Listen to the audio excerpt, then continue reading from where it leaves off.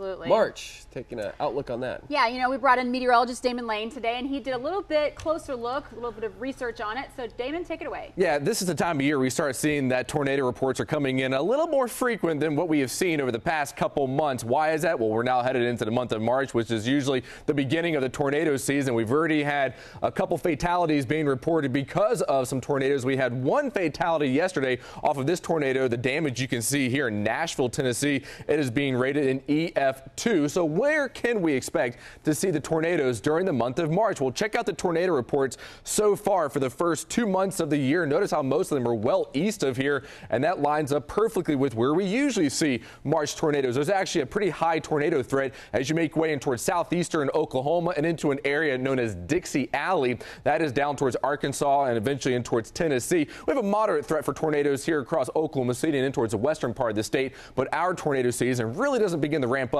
until late April into May and early June.